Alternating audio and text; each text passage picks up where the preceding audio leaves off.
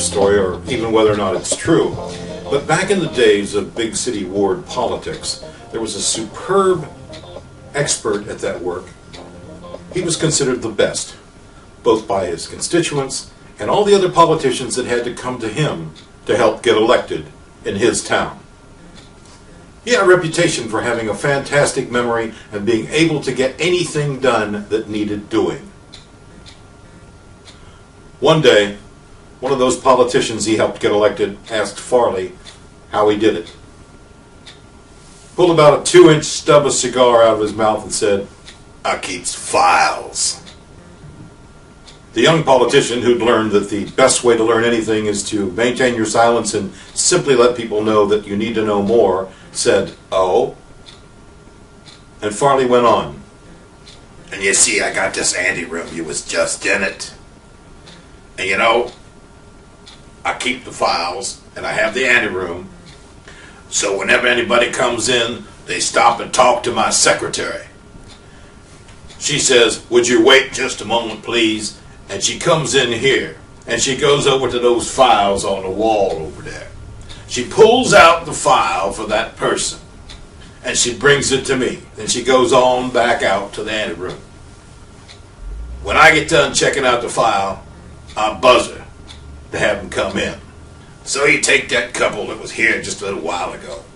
The file tells me the things that you don't know and that most people wouldn't know. Like the fact that he hasn't had a job for a while, and the fact that they need one, but more importantly, they got a boy that's doing just wondrous things, learning how to play the violin. And something that my secretary found out when she was talking with the wife. They got another kid due not too long from now. Anyway, they're good kids. So I sent him to a businessman I know and he'll get a job in the warehouse. We sent her on home to understand she's going to be just fine, right? And what we did was we made sure that we got a date when that kid's due so that when it happens, we can send a card to him and maybe even visit. Now, that doesn't sound like much because you know what I'm going to get out of this is I'm going to have somebody in my district that's got a job, it's going to be paying taxes, going to have a happy wife and a happy home. But that boy, that boy is going to make some people feel wonderful when he plays that violin for them. And when that kid's born, we'll be there and sending a card.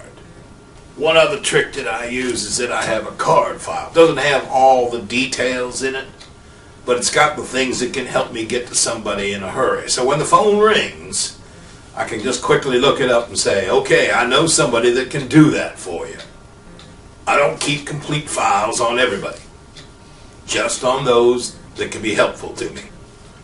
You need files like Farley. Simply making contact is not enough. You have to have a systematic way to maintain those connections. You need to build those relationships, make them mutually compatible and profitable, and build your business